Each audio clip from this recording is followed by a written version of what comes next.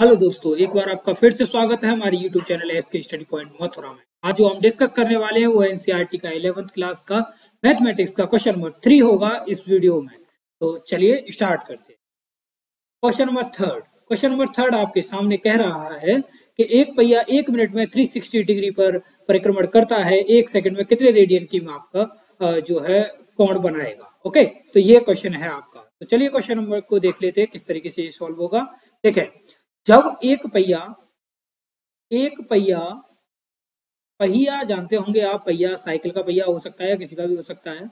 एक पहिया, एक मिनट में, एक मिनट में में 360 परिक्रमण कर रहा है। क्या कर रहा है? परिक्रमण कर रहा है, यानी घूम रहा है।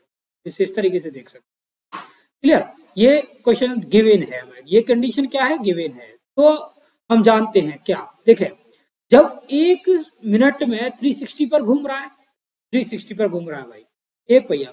तो जब 360 पर घूमेगा, ध्यान देंगे 360 पर घूमेगा तो एंगल कितने का बनाएगा भाई पूरा का पूरा?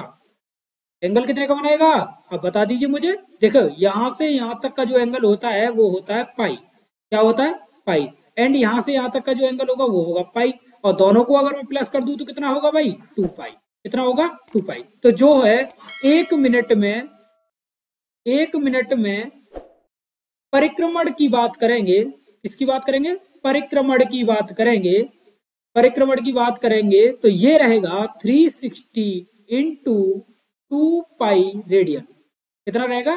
रेडियन बाई रेडियन ओके जब इस, इसकी बात करेंगे तो।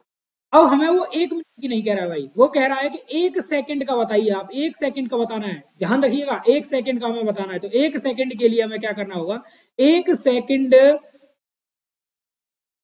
बराबर होता है, आप समझ लीजिएगा वन इंटू सिक्सटी ये होता है सॉरी एक मिनट बराबर होता है वन इंटू सिक्सटी सेकेंड ये होगा सेकेंड यहाँ भाई मिनट आएगा।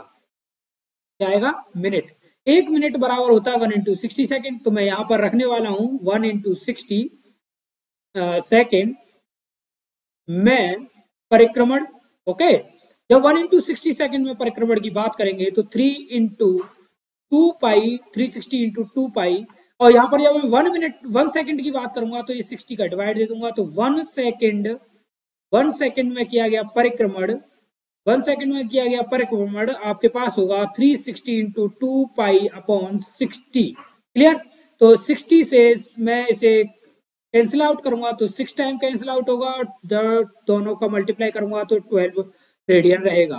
तो वन सेकेंड के अंदर जो है आपका जो एंगल बनेगा वो कितना रहेगा? वन सेकेंड के अंदर आपका जो एंगल बनने वाला है वो रहेगा twelve radian twelve pi radian okay तो आप इस क्वेश्चन को इस तरीके से सॉल्व कर सकते हैं और आ, हमारे चैनल को लाइक शेयर सब्सक्राइब कर सकते हैं जिससे कि आपको ऐसी तरीके के क्वेश्चंस आगे मिल सके।